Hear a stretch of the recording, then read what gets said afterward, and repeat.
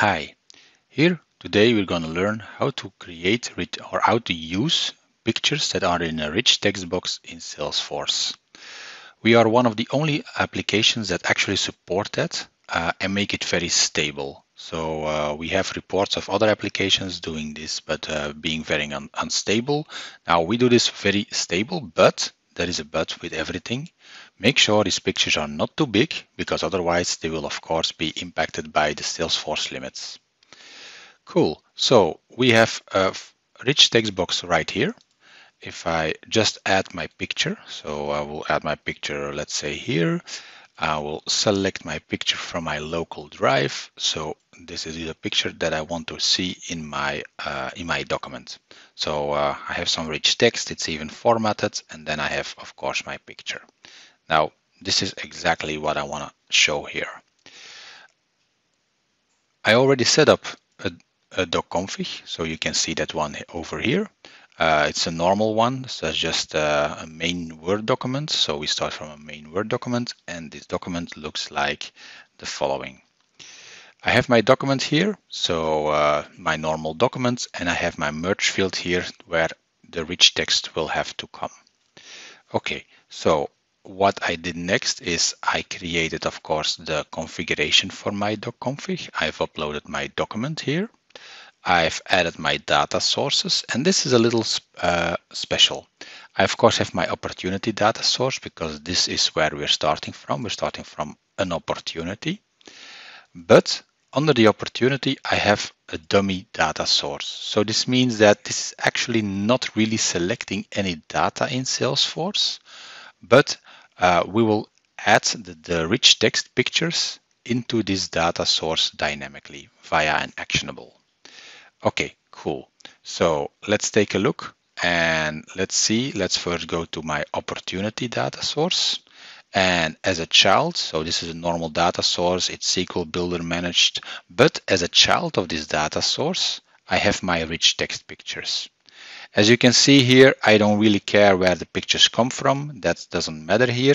Uh, the image name has to be something to make sure we are not selecting any pictures because that's not what we want. Eh? This, uh, this data source, this picture data source should not select any pictures. And then of course it's linked to the opportunity and our parent query field. Eh? So the field from the opportunity we're going to use is the ID field. So what's special here? That of course this image name is something that makes sure that uh, no data is selected.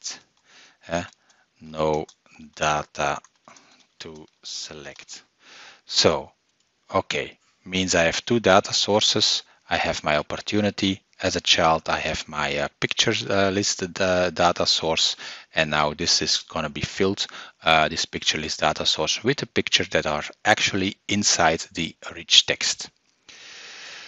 Next step, I go back to my uh, docconfig. So what I need here now is to add an actionable.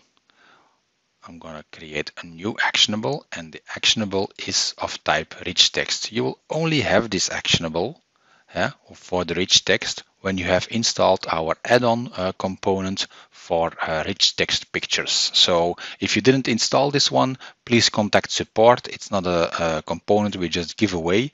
Uh, it's free, of course, but we don't give it away on our website because then everybody can download, download it and copy our IP. So just um, send a mail to support at pdfbutler.com and the uh, and if you are a customer, the rich text uh, picture uh, actionable will be available uh, will be made available for you with no cost. Okay, cool. So I'm gonna create this actionable now. The actionable name is just gonna be a name. It doesn't really matter. Uh, rich text picture retriever. The class is going to be uh, important. So make sure that this is the class because this is the class that's going to be in our add-on pack, uh, package.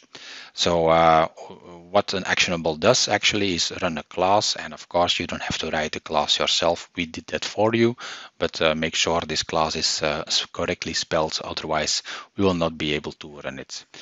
It's of course active and then the configuration. So uh, the service, the actionable, needs to know where the data is coming from. In this case, the data is coming from our opportunity. So the uh, rich text field will actually be part of our opportunity. Then it needs to know where it has to store the pictures. So that's going to be in our uh, picture list data uh, data source. So that's this one.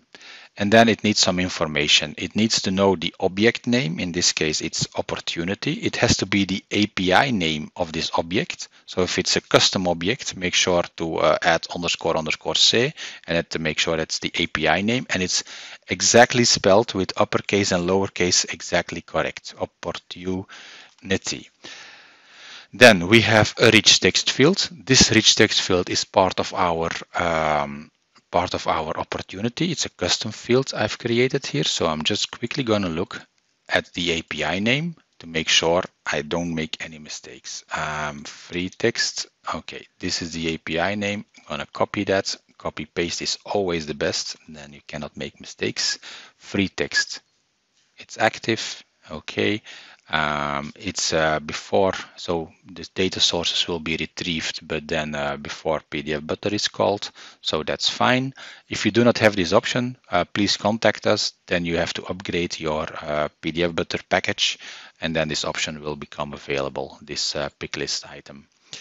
Okay, save. Everything is done now, so we have added our actionable uh, we have uh, created our doc .config, our configuration. Now let's uh, let's test it. So when I click the button over here, I have of course already added my doc .config over here because this is uh, a normal in PDF. That's not the uh, part part of this demo. Uh, what I need is that first of all I get the data for my opportunity.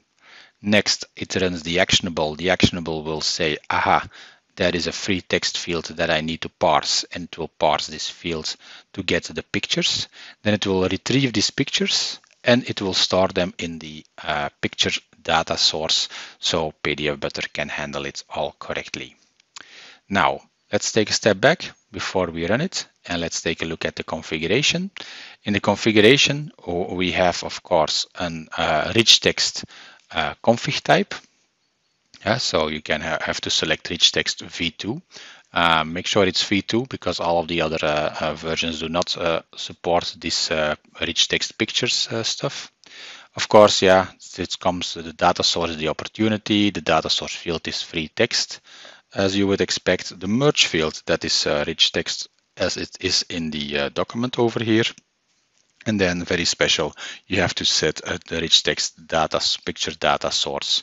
So this is of course yeah pre-filled because there's only one uh, picture data source here. If there would be multiple, please select the correct one. Okay, this is the stuff to fill. This is the configuration to do. Uh, all of the next, all of the other stuff we will ignore for now. That's part of another uh, uh demo that's on our academy. So this is looking good. Let's give it a try. I click the button, it will get the opportunity data, it will get the picture. And as you can see, it now inserted this picture into my um, into my uh, into my document. Okay, that's actually it.